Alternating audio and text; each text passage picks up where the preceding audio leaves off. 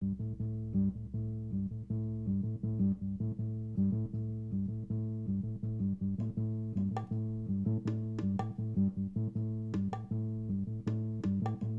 you know already at that time that you wanted to be an artist, that you were drawn to be an artist in the world? I knew I was.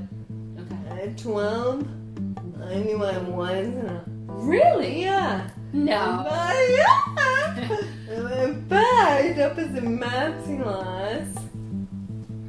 And I was in the morning, I'm the teacher, and the teacher came around and went, What are you doing? You know, because I wasn't doing the what? And I'm went, I'm an artist. And the whole class like laughed. And I'm like, what's so funny? How did you know that, though? I mean, you would agree a lot of people don't know or understand that about themselves that early. How did you know? You know, I never, it was never a question for me of wanting to be something. I just was something.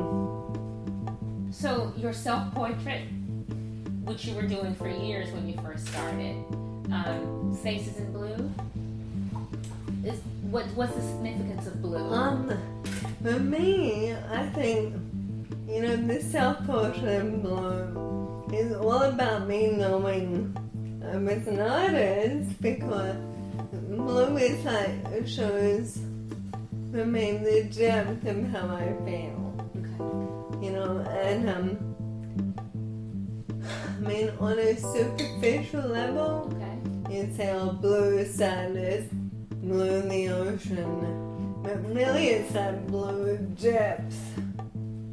And then you switched, and why are children's portraits the focus now? How did that evolve? To- totally bizarre. Um, after being in New York for a few years, I, I bumped into a um, an art historian. She and his son, and she and I met this son, and I was bowled over by him. It was so strong. He had cerebral palsy. Fun. His spirit was so strong. You know, I met him and I'm like, I, I couldn't believe him. Hmm. And then I thought, if anyone can paint that boy, I me, yeah. I ended up doing 23. Really? They bought them all. Why were you so Okay. sure that you were the person that could paint? Um, because there was something about his incredible, indomitable spirit Yeah. that I could relate to. Okay. And that I could, once I could relate to, I could see it. And I can feel it. And like you can see and feel the essence of, of someone. Paint them. Mhm. No, you don't paint the unknown. You become the unknown.